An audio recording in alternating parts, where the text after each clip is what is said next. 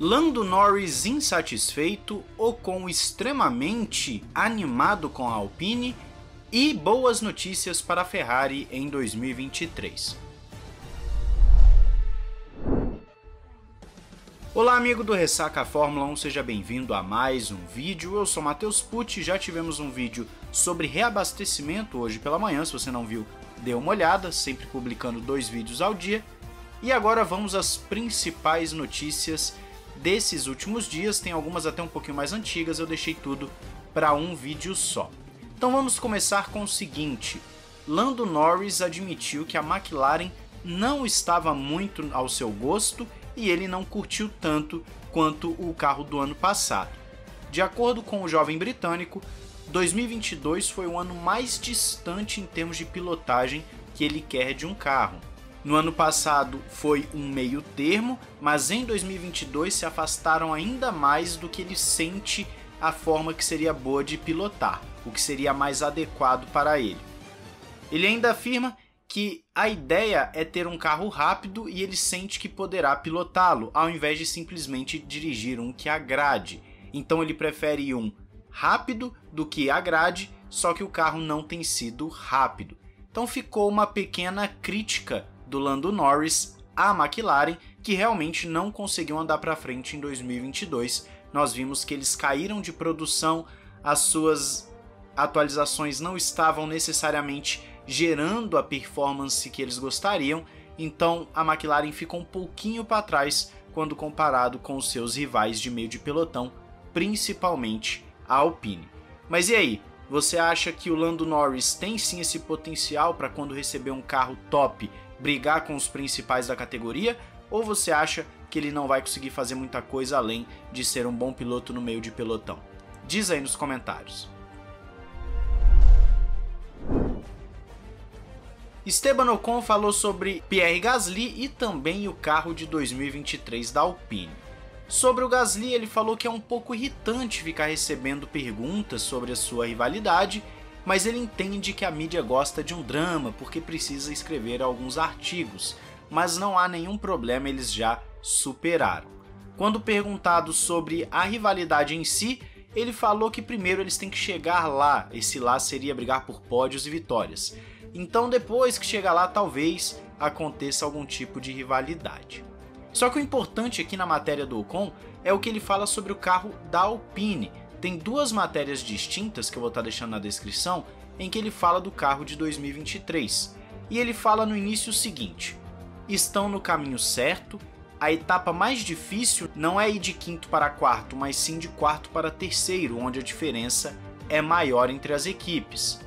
Não será fácil de imediato, mas com o ritmo do desenvolvimento que tiveram esse ano, eles podem sim chegar lá ainda mais se conseguirem manter isso durante o inverno, ou seja, durante esse período de férias da Fórmula 1, porque lá é inverno. Ele já testou o carro do ano que vem no simulador e é muito promissor. Eles são os próximos da fila, ou dependendo de como você quer interpretar essa, esse ditado, essa frase dele, talvez ele queira dizer que eles são os que, que vão bater de frente com o terceiro colocado, que seria Mercedes, Ferrari, enfim, alguma das três grandes. Só que não para por aí. Em uma outra entrevista, ele fala que foi muito encorajador o que ele viu no simulador. O carro é incrivelmente rápido. Ok, até agora são apenas simulações, mas ele concluiu que é bom. Então nós não sabemos qual é o parâmetro necessariamente que o Esteban Ocon está colocando para essa comparação. Se é uma comparação direta com as três principais ou é de meio de pelotão. Se for de meio de pelotão, faz sentido a Alpine teve sim uma correlação excepcional nas suas atualizações em 2022, então o que eles faziam na, no simulador virava algo muito bom na pista e foram várias atualizações. Então, sim, nesse aspecto nós podemos ver que a Alpine pode vir muito forte mais uma vez nessa briga de meio de pelotão.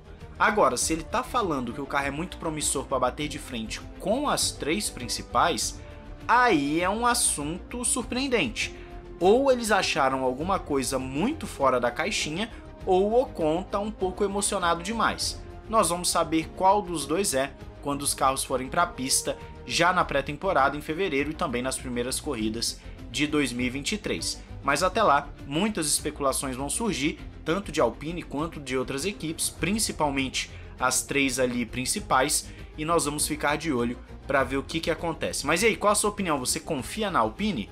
Diz aí. Por último, mas não menos importante, temos boas notícias para você ferrarista. Parece que a Ferrari está muito esperançosa no carro de 2023. De acordo com a mídia italiana, está sendo feito um bom progresso no projeto 675, que é o carro do ano que vem.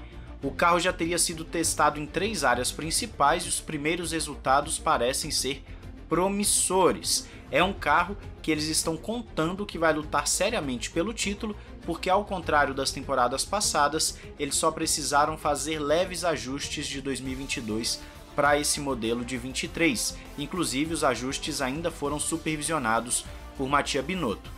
Os dados do túnel de vento são supostamente muito positivos e parece que vem trabalhando arduamente para atingir uma velocidade máxima mais elevada através de uma maior eficiência aerodinâmica, porque a falta de velocidade da Ferrari não é somente por conta do motor, mas sim por conta do excessivo arrasto e também de um assoalho que não é tão eficiente.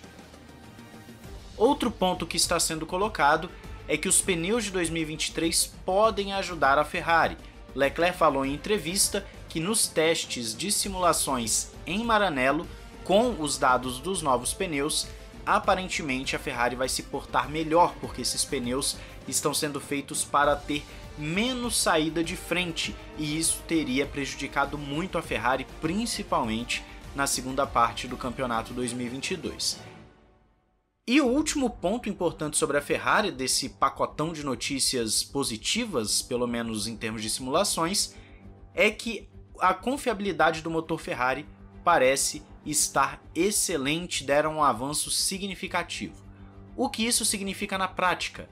Significa correr com mapas mais agressivos por mais tempo. A Ferrari teve que abrir mão da potência durante um período em 2022 por conta da confiabilidade que estava deixando na mão. Agora parece que a Ferrari resolveu o problema, lembrando que as equipes podem mexer na confiabilidade livremente de seus motores.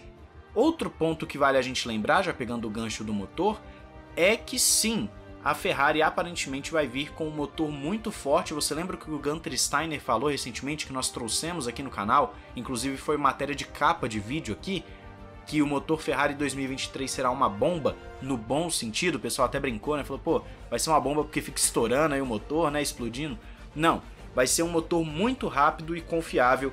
Aparentemente, a Ferrari vai voltar a ter algo naquele nível 2019 do famoso motor adulterado. Só que dessa vez, vamos assim dizer, dentro das regras. O Mattia Binotto, para quem não sabe, é da área de motores, então não me surpreenderia a Ferrari ter um motor muito forte em 2023, já que o expert, o chefe da equipe é expert nessa área. Mas o que você achou desse pacotão de notícias da Ferrari?